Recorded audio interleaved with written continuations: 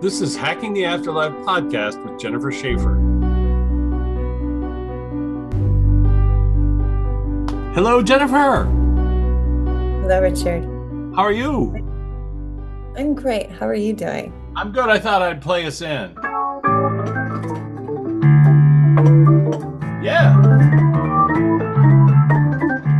You know, it's uh, Super Bowl weekend. All right, very good. It sure is. Welcome to the Hacking the Afterlife podcast with Jennifer Shaffer, where all bets are off and I don't know, all bets are on. How you doing? What's Oh, going on? I'm doing great. Um, like I said, last week was a little rough, but this week is a lot better. It feels better. Oh, I'm so glad. It looks like it does. Looks like you're pretty happy and healthy and wise. Um, I do feel healthy. I feel great. I'm very lucky with that, I feel. Very good. Yeah. Um, all right, and let's. So, I mean, you know, we we're not Luana Anders, our moderator on the flip side, knocking on the door.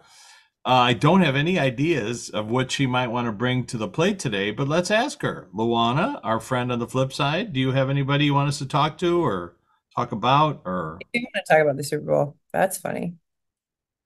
Okay, Oh, let's talk about the other side, yeah.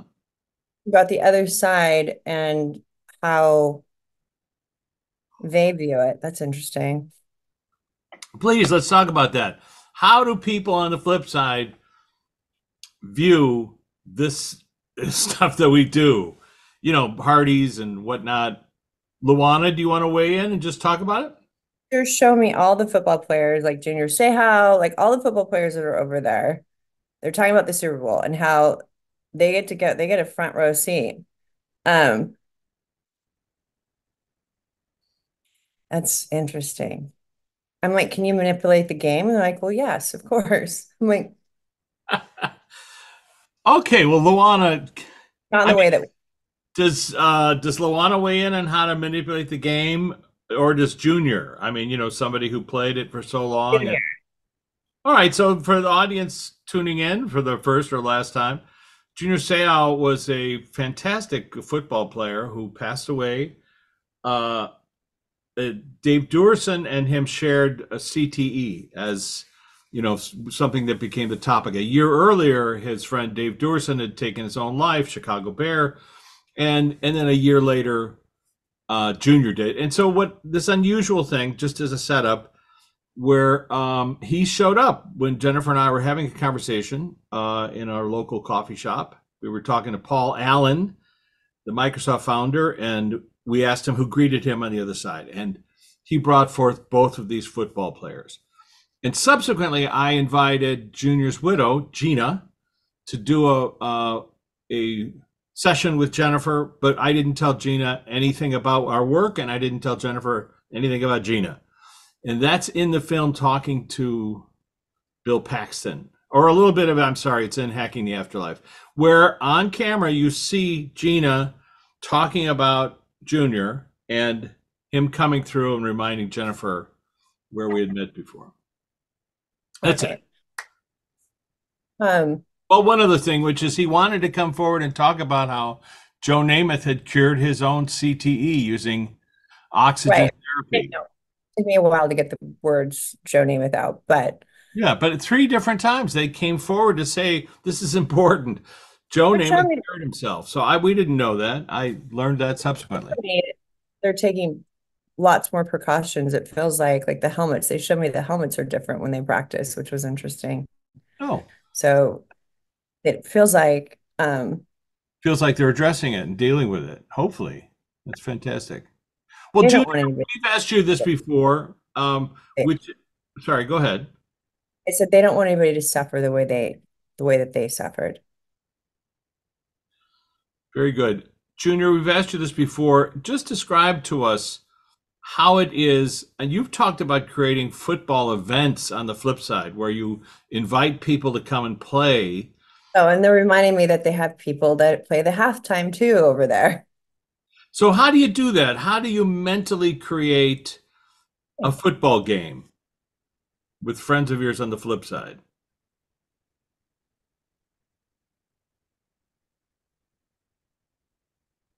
Not exactly. Okay. I'm like, is it the same amount of people like that it takes to build a stadium over here, over there? And he's like, not exactly. Oh, they just pull out like the newest stadium that's here, like almost like a little, like a little memory stick, and they Okay. recreate it from there. So they already pull out one that's done. Um, And is it from one person's memory or is it from like a conglomeration of different memories? it's from a slice in time. So it's a like it's a slice in time. So it's more of um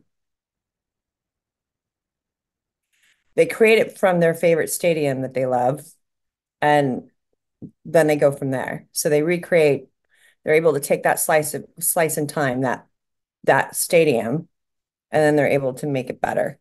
They're And saying. we we also uh, talked about how to play a game, and I asked you if there were 11 men on a side. Just describe that that I mean, you mentioned that there weren't, but it was that that anyone could come and participate, and you had a number of professional athletes from different time eras that came and played, including Arthur Ashe, you mentioned. Right. Um, he says anybody, it's not, it's not off limits. He goes, we have our, there's different, they're showing me a lot. It's just like pickleball here. There's different ways to play to you know, between tennis and pickleball. It's like whatever you feel comfortable playing with. You go to the energies you feel comfortable with. Now, somebody that plays, that plays, I don't know, pickleball might not necessarily want to play football with the NFL players that are over there. You know, they might not want to do that. Um, it's almost like going to the going to the energies that are the same or the same energies. So, like movement and trajectory and engineering of how to hit a ball and a per, like throwing a pass, you'd Right. have to have that engineering idea of the math from how to throw and etc. Right. And you'd have to study it as well. Yeah. Okay. And But so, it- it- they were showing me it's like instant. so if you don't mind, uh, so when when you guys go to the Super Bowl, I don't know, are you aware of the outcome already? Not that you should tell us, but I mean, I'm just curious. They're laughing. I've asked him about it. Yeah. for all those gamblers out there, um, you know, plus or minus, blah blah blah. Well, there. Uh, correct me if I'm wrong, Junior. Doesn't the outcome change based upon certain factors on the field? Every- everything. Yes. Everything. So, but you have a likely idea of the outcome. Is that correct? Yes, because they're living outside of time. They have the likely ideas of the outcomes from now to the next 50 years. Okay. Except because of free will, there's always that element that things can change. So let me ask you this, Junior. And Junior played for the San Diego Chargers and, and other teams. Who are I you? just asked if there's gambling up there and they just started laughing. They're like, no, it's not. That's Well, what do you win? You know, stuff, credits. That's funny. But Yeah. who are who are you rooting for? Are you rooting for somebody, or do you just like root for the players? They're rooting for Taylor Swift. Okay, now that's a question. I mean, it's an unusual question, but let's talk to you a little bit about that. What's your impression, Junior? And again, we're talking to somebody off stage who has a great sense of humor and he knows a lot of football players. Mhm. And, and what's your impression of this whole? Uh, just laughs. It's like it's like having the prom king and queen on one team, you know? And he just says, technically the 49ers, I think, are better. He's sharing with me, but okay, it he would know. it doesn't doesn't based upon stats. Yes, but it doesn't matter when you have something that's so, you know, um, I mean, that's why there's underdogs that can make it. Like that's why there's David and Goliath. Like it's not it's not a for sure thing just because you have the best players or the best stats. Right, right. And so let me ask you this, because people ask this question, and it's it's this idea of like when they have a party at their home and they're in honor of somebody who passed away. We've talked about this where the person on the other side feels all that energy and all of that concentrated thought. And so, in Right. terms of you being hanging out with players over there who are now, I mean, what would the scenario be? Do you gather at a, an invisible imaginary bar, or how does it work? How do you watch the game? Are you on the field? We're, we're watching it with our loved ones. I see. I see. So, so Yeah. in general, you'll So be. If our loved one, if our loved one's on the field, we can watch it. He goes, but they have, that's actually very interesting. They showed me the invisible security. Like, so I don't know if there's like security down there that makes sure that nobody, that spirits can come, like can come in. Can influence the. Well, let's let's talk about that. That's so actually, I've never that- before in my life. Yeah, we've never heard that. So what what do you mean? Do you mean like guardian angels? I mean, for lack of a better term, guardians that sort of block people influencing the game, let's say? You know, if you have a friend who's playing on a field. He just said he he's expressing like we know that we can't um be there. Like we can't we you know that you can't. Yeah. So there's there's certain rules that you have to abide by, which makes sense. Otherwise, everything would be influenced. chaos. But all right, let's just think of a scenario. All right, if we can, let's just ask Junior to think about this for a second. So, let's say his favorite team, whoever it is, is on the field and it's third down, and and you know that if he throws the pass to the person that's supposed to catch the pass, that will be a you know something that'll be for your team. Can, I, can you influence like whispering in somebody's ear, defensive guy, distract him, block him? have him not see the pass or is that just not done you just it's sacrosanct He says we just can't do that, nor would we want to. okay But if if we were allowed, yeah, we could do that. We do that all the time with people. You know. sure okay so just explain what, what what we're talking about which is that jennifer and i've talked about this before people looking for an item in their home and they can't find it and then the day that the song comes on that they're go ahead Right.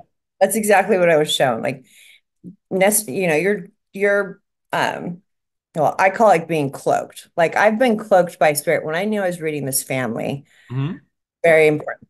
They, you know, I had no idea who I was reading. I was completely cloaked. Like they made sure that I had no reference whatsoever until because I would have been nervous as cr- I would have been so nervous if I had any indication or any inclination of who I was going to be reading because of this because of their family.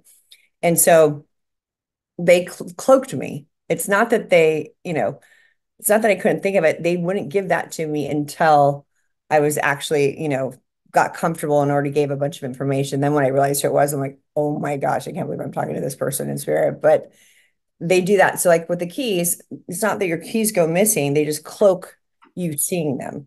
cloak you seeing them so you might open the drawer five times and go oh, they're not in here Right. but they're waiting for the moment when the song comes on so that you definitely get the connection between oh that's dad's favorite song and oh there's his keys i looked here a hundred times it's not that they put the keys there it's that they cloaked your ability to see them My dad just showed me his ring that I lost when I was devastated. And it was right next to you in the car and you just didn't see it right behind my seat. And I looked, I mean, we looked through, we tore my car apart. Nowhere to be found. Freddie Yeah. and eventually he like uncloaked it. Well, that's interesting. So, Junior, tell us some more about about. Uh, I mean, it's been a couple of years now that you've been off planet. I know your family's doing well. You know, uh, you you really helped them when you came through and talked to them. Um, and there's a movie, by the way, for people who think we're crazy. You know, who joined the club.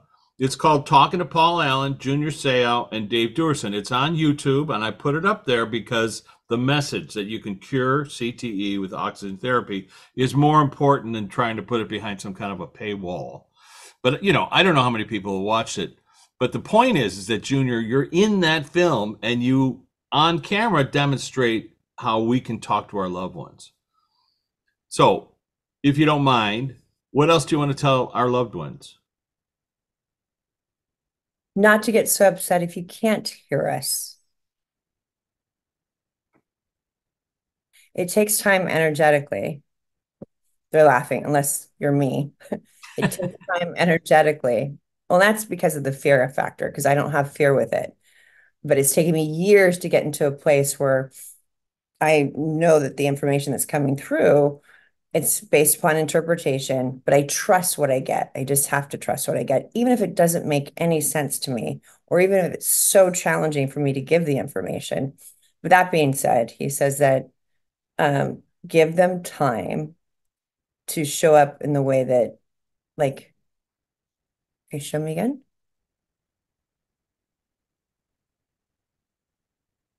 Just give us time to come through. Oh, wow. It's like missing a phone call. Like they could be there, but you might not be looking for them, or you might not be, you might be doing something totally different and they could be there, but you're, it's almost like missing a phone call, he says. So, in order to not miss that phone call, be open to us, um, be open to us coming to you when you least expect it. Like, what would be an example? Just because it's fun to ask. Like when I was looking for my ring, I couldn't find my ring. They're showing me, but it came, it popped in when I least expected it. Like I already resolved, you know, I kept envisioning it coming back to me someday, but I didn't know if that was gonna be soon or years later or whatever. They, um, when we communicate to you guys, it takes us a lot of energy. Thank you. And when you're wanting something so bad, you miss getting just the subtle, the subtle hints that they're there. The coincidences and the odd. Well, I've got a little bit of a story to tell you. Just yesterday, I was in my local coffee shop, Cafe Lux on Montana. And a friend of mine was supposed to meet me there, and I got a text while I was sitting there. I can't make it for like an hour. Can you come and pick me up like in an hour? I was like, oh, okay, sure. Well, I thought, oh, I think I'll have a cup of coffee. And as I drank the coffee, a guy walked in that I haven't seen in years, and I hadn't talked to him in a long time. And I said, come on, sit down. What's going on? He said, well, you know, I had a heart attack last week, and so I've been, you know, and so we talked about it. And I asked him, like, what was the experience like? What do you remember? Details. He said there was someone there pushing me back into my body, telling me to call 911. And he did. And so he's alive. And I said, You know what I've been doing? And he said, No, you're a filmmaker. I said, Well, yeah, but also talking to people on the flip side. So do you want to do? I had half an hour. Do you want to do a little bit of a? So I spent a half an hour with this guy. We talked to his wife who passed away. We went for a visit to his council. Every member of the council said that they knew me and knew the work that we were doing and applauded it. This is stuff he didn't know anything about. And at the end, he was in tears and feeling as if he had been told the answers to many questions that he had. So, as I said to him as we left, no coincidences. I got in my car, turned on the radio, turned, you know, this is a coincidence. And I, the song Get Back is playing. And the person I'm driving to meet is a is a Grammy award winning uh, music guy, and you've actually done a session with him. And at some point, I'm hearing Billy Preston playing the solo of the song Get Back. And you and I did a session with Billy Preston like a year ago. It's on our podcast. But I hear in my head, play that for our friend. And so I kept repeating it, you know, on the stereo until I picked him up. And when he got in the car, here was Billy Preston playing the song. And he said, Oh my gosh, I used to play with Billy Preston in a band. And last night I went to see this new movie, a documentary about Billy Preston. It was done by a friend of mine at Universal Pictures. Anyway, so there's a coincidence that you I allowed it to be something. You know, I kept playing re, re, rewind. Anyway, just pay attention to those little moments of coincidence. And they're very subtle. They're not like like everybody expects, you know, I, there, every once in a while I used to get this, you know, early on in my career, like, well, is he showing you that one thing that I told, you know, right, right, right. And my brain at that point just go rant, like I just, you know, because then if you try so hard, you miss it. It's something that has to come in naturally because I sit there and I'm thinking, is it a teddy bear? Is it a song? Is it a bird? Is it this? You know, and usually they show me, but some things are so innocuous. If I don't have it in my brain, so subtle yeah and and like you say you know sometimes people want to have the verification thing I give them all sorts of, that's what I do. I give and by the way my friend that i picked up you know he comes from a skeptical background but when you did a session with him there was a mention of a green sweater that no one on the planet knows that he was wearing this friend of his green sweater this one day and you mentioned it and for him that was proof beyond anything else that you were actually speaking to his loved one who had passed away The Um, point being, no one hearing about the green sweater story is going to believe, oh, that proves life goes on. But it did to him, you see? It's reflexive. So hearing one detail doesn't necessarily make you suddenly go, oh my gosh, you know, grandpa's alive. But it's an accumulation of small, little, subtle coincidences, allowing that it's possible. That Right. appears to be part of the big key. All right, you're looking around. What's going on over there? What are I'm they saying? What are they telling you? One. go ahead. Luana wants to speak. Oh, she was just mentioning, it's so interesting, when um what did it for you was James Van Praagh when he read you and he mentioned the picture on the on the On the refrigerator. Refrigerator, right, that I had taken, and he said there's a re- picture on your refrigerator that uh, is the essence of your relationship. And when I put it on the fridge, I went, oh, look, the essence of our relationship cookies and cappuccino in Rome. And yeah. just yesterday, somebody was on our, uh, you know, Martini Zone on YouTube, and they were saying, that sounds so fake, and James Van Praagh is this and that. And, and I just thought, he'll never hear it. It'll never mean anything to him, to that person. But to me, I knew beyond a shadow of a doubt. I'm the only guy in the room when I put the photo on the fridge and said those words. And then he said, She's telling me that that photograph on your fridge, you know, etc. So that Right. that kind of little unusual thing allows you to know, but it's also, I think, indicative of why this isn't common knowledge. Why, you know, we don't have a billion views on, on our podcast Not because yet. not yet, but I think some people aren't supposed to know. I don't, I think that, well, our podcast is timeless because of, in my opinion, because people will be listening to it for years to come. They'll be going back and listening to our older, you know, versions of whatever we Yeah. were. And it's also something that, yeah, it's just like politics. You can't, it's pointless to try to go, you know, talk to somebody that's a staunch Republican if you're a Democrat and vice versa. You know, you can you can try, but they're not going to listen. Nobody, you know No, they've already cemented their their but you know, okay, that's all right. But that's why we do this podcast, I think, is because we allow people to open themselves up to the possibility. What and allow yourself to see numbers and have those mean things too. Like okay. there's a lot like num so when I again with my my dad just showed me, hi dad, how when I said to him like, "Oh, you're here, you know why?" And he's like, "Well, it's the seventh year. Your birthday is seven one. I, you know, Right. I'm 71." Like numbers mean a lot. Like anytime where I feel like I need a sign, I'm always being shown 71 somewhere, whether it's the degrees on my car or like the. It's interesting. battery. It's almost like they're tapping you on the shoulder. Well, let's ask Jim that question. That number is, I mean, a- any number for a person might be a particular resonant thing. How is it that you do that on the flip side to make them pay attention to it? Or is that what it is? You're tapping them on the shoulder and say, hey, the clock. Yeah. So hold on, let me just get it from from what he's saying. Um, he's laughing. He's like, I keep you busy.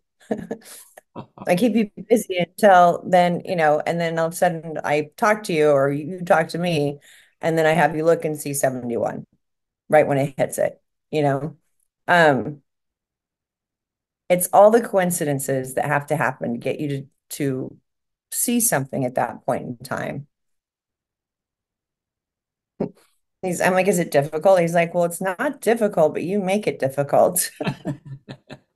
You mean? Because he's showing me, he's showing me trying to get it, like to try to get in to talk to me when there's so many other, you know, people talking to Other folks, yeah, you got a lot of clients out there waiting to talk to you, and you they got to sneak in. Well, and I, and I was working, you know, I last week I spent a, a lot of my time working on cases and reviewing those. And so, my dream state was crazy town. Hmm. You know, people are, I was inundated. But I, again, like with what they're saying that he's coming through, it's easier for him to come through and make me believe it in my dream state because I'm less resistant, you know. Right. It's Uh, fascinating. Well, I mean, you know, people do ask us, it's like, well, how do they, you know, because they're outside of a, of the time frame that we understand, you know, the clock and the, you know, the sun coming up and going down and going to sleep and et cetera, et cetera. And it's almost like they have open access to what we're doing, but it's not like they're nosy and and paying attention, especially for relatives you don't want to be paying attention to you. But it is that they have the capacity to sort of interject themselves into your daily life, whispering, yeah. let's say, or it coming in terms of a dream. No one bad is going to come in and try to fool you. No one's going to try to come in and give you information that so I'm being shown that that's like a big issue. Like, well, who are you? You know, they're going Yeah, to do they'll do their best, but it's exhausting to try to prove yourself from the other side when you can barely hear them to begin with, right? sure, sure. And it and And it I work with names. Names to me, even though I won't remember people's names, I work with names. That's just something I've always done. So I need the first first name and last initial, and that's how I kind of call them in. And I believe it's them. And the, every once in a while, there might be somebody else that comes in, and I'm, and which is great. And I'm like, okay, somebody else I think is coming through eh, because if this information isn't for, you know, fitting for them, I do feel somebody else here. But Yeah. they don't talk like this, you know, with their mouths open. They're projecting their feelings and thoughts. And so when I'm looking at one spirit, another spirit could be doing that. You're like, why are you telling me this? Give them, like, trust them that it's them coming through. Yes. They're not, talked, I asked you about that, like, is it possible for them to prevaricate or make stuff up? And and it's almost like the frequency of the stereo is off when they're trying to make something up, so it doesn't get through. So the idea is they they need to be true to whatever their belief is, and they could be wrong. Let's put it that way. They could have had an ego that was, you know, this is the way I felt. So when it's coming through, it has to be truth to them to to express right. themselves. So and so Luana, and, And oh, and- oh, go ahead. go ahead. Go ahead. No, I'm just going to ask Lou. You know, in in terms of that, was there anybody that wanted to talk to us today that was waiting in line or on the s- other side of the velvet rope? Prince, Prince, hold I on. haven't talked to you in a while, bud. He popped in when I was going through videos yesterday, and they had a Super Bowl. They had somebody that was being interviewed about his um, Super Bowl, Halftime, yeah. halftime, and how, you know, he's like they were so afraid of him getting hurt with his 10 inch hills and the rain and everything. And they, you know, so they call him like, you know, it's, you know, it's gonna rain. And he goes, tell it to rain more. well, let's ask him how he's doing and what's up and what have you been doing? What's going on? We haven't talked to you in a little bit, but He's making more music and learning more sounds, like sounds of the universe. talk about it a little bit, please, if you don't mind. He loves creating, like he did here. He loves creating over there. And he says he loves helping guiding people here. Thank you. He says that that we compliment? act- well, I always get I almost get blush when he's around, but um, you know, I don't want to get anything wrong either. But he's saying that we actually made it him more accessible because people just didn't believe that they could talk to him. And he goes, it doesn't matter if you're this, you know, this person in Kentucky that never met me before, if, if you're making music or if you're playing the piano and you you want some help because it's it's a tone that reaches me and I'm able to help. But he says it was our podcast that helped him, helped others believe that they can actually talk to them on the other side, which That's a kind sweet. That's a sweet thing to say, and and like but very interesting. We've heard it a lot. it's not about celebrity. It's really about what's your heart, what your heart wants to learn. And so if you're going to ask Prince to come by just to, to be sexy, well, that you could probably do that too. But if you want to ask him like some help in being funky, right? You know, oh, I was going to be funky. If you, you know, if you're going to ask him for help in being funky, all right, then, you know, that would be a way to say, I need you to come in and help me. What's the next, you know, chord going to be, or what's my next thing? So how does that work, Prince? How does it? How do you? Well, it uh, depends. It depends with each person. So he just dropped G into my head when you were playing. Like you said, what's the next chord? Oh, okay. All right. And what comes after G, Prince? I don't know. E minor or let it, well, let, let,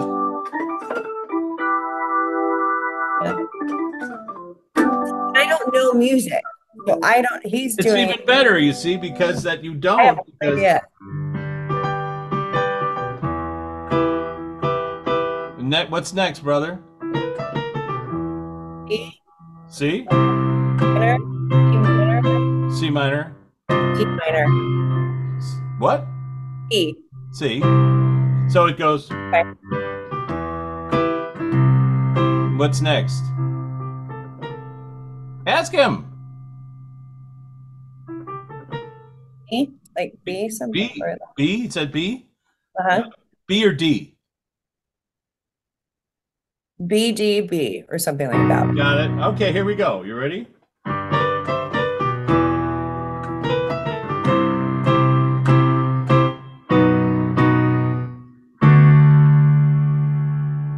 Then F.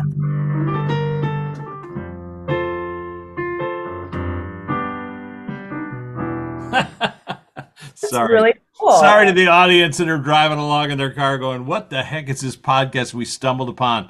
Anyway, the point is, I know those chords. Jennifer doesn't know those chords. They make total sense to me.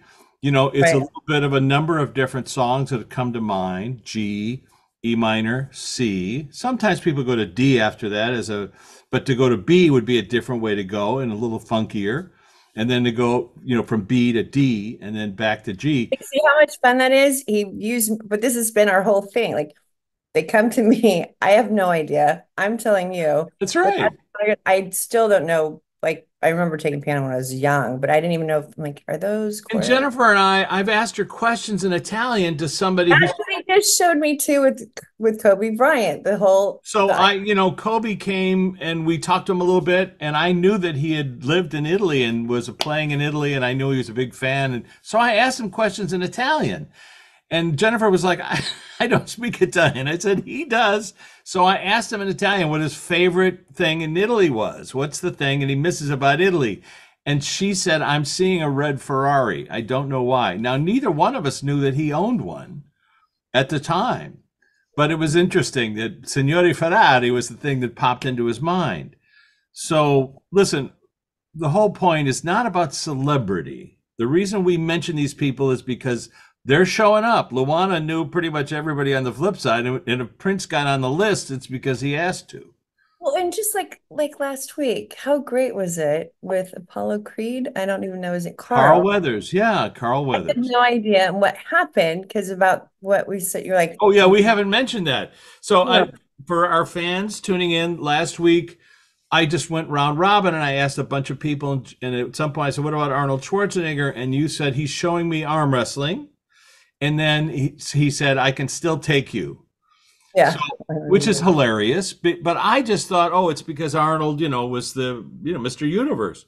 But no, as it turns out, because the next day Arnold posted on his Instagram account the iconic scene from Predator where they were arm wrestling. I didn't know that was a meme. I didn't know that was. I saw the movie back in 1980. I completely forgot about it. I've asked people since then. I was like, you know, when I say arm wrestling, Arnold and Carl, what do you, what comes to mind? They're like, ah, I have no idea. What are you talking about? I had no. Clearly, I had no idea. I didn't even know I was talking to Carl until halfway through it. I didn't so, know it was. I'm like, oh. So would that help somebody understand that their loved ones are still alive, that still exist? I hope so. But it's a music. Also, music too. Like music. I had a father who lost I had a family that was in front of me who lost their son at a very young age. And he was sitting there like this. He was, and I'm like, listen, I don't know why mean you're the so person you were talking to? him and his wife and his daughter were there, but his son just passed away not too long ago. And his son was is such a great communicator. His name's Shane. He was such a great, beautiful light. Um, and came through and he goes, tell him Sanford and Sons. And I'm like, tell him I miss Sanford and Sons.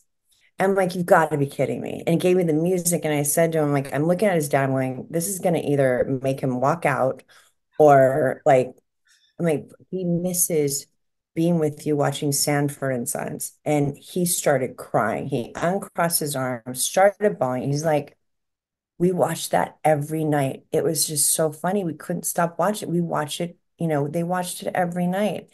And he, so for that little thing that I actually fought to even give that information was something that made him believe in the afterlife.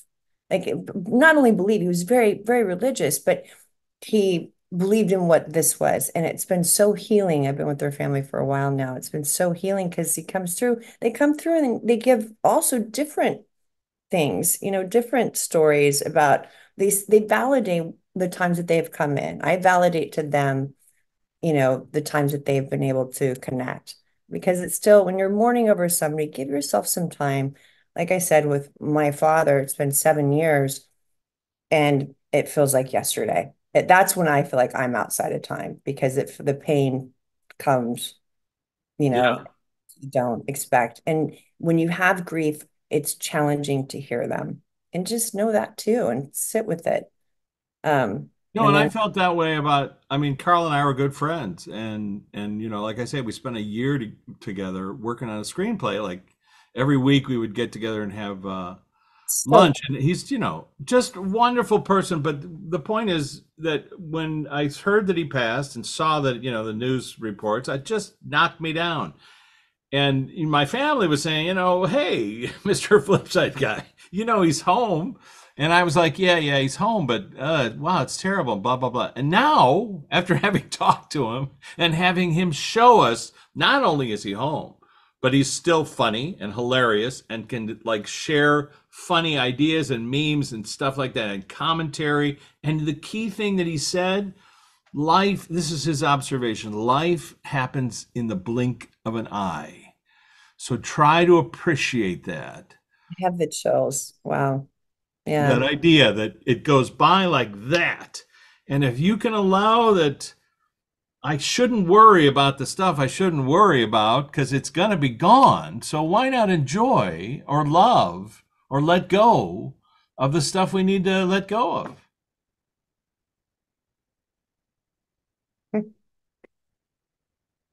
Sorry. we have to let go of my dog. And I'm just Oh, heartbroken. I'm sorry, Jennifer. What's your dog's name?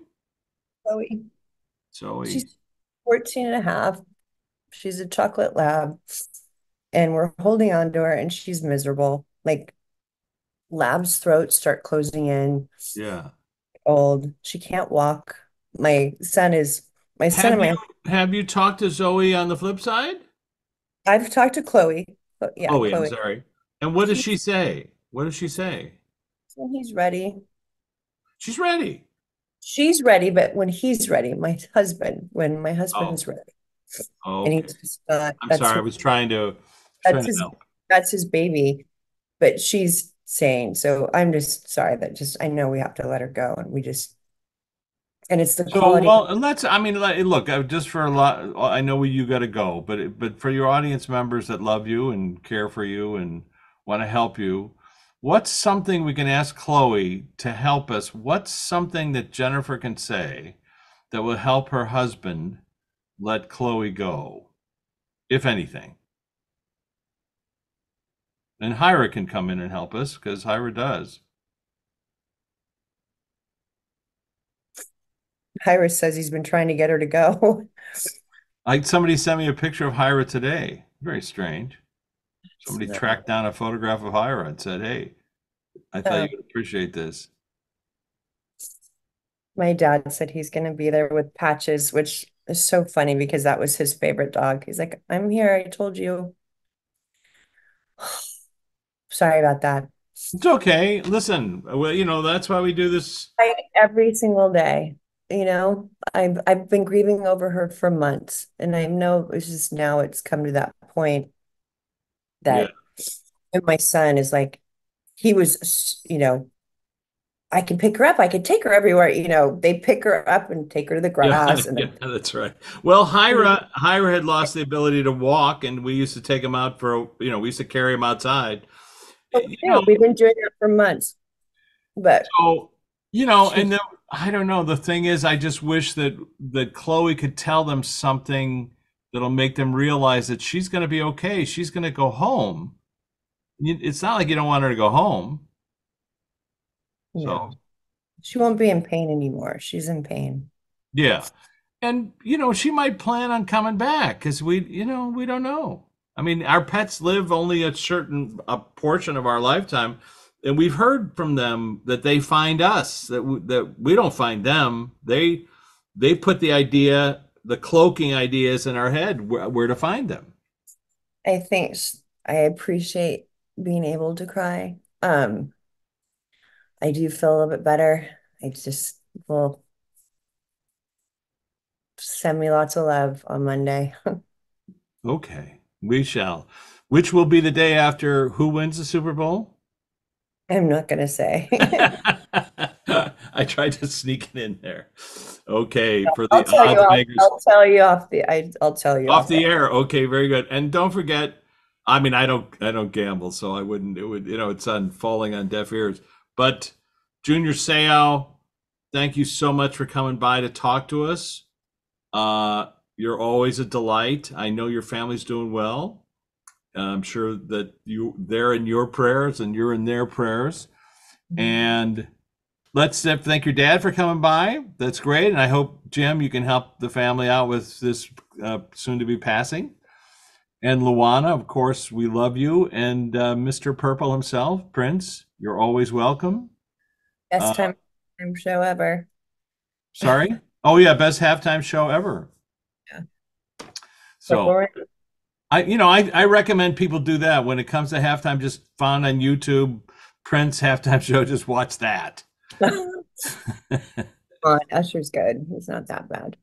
Say again. Usher isn't that bad. Oh, okay. Is Usher playing? Okay, very all right. Yeah, you'll be fine. Bye, you guys. Thank you, audience. Thanks, Bye. everybody. Thanks for tuning in. We love you, and we'll catch you on the flip side. Love, Bye. love. Okay, bye.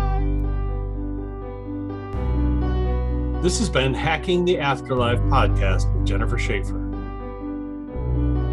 For more information, jennifershaffer.com, martinizone.com, or richmartini.com. Hacking the Afterlife documentary is available on Amazon Prime.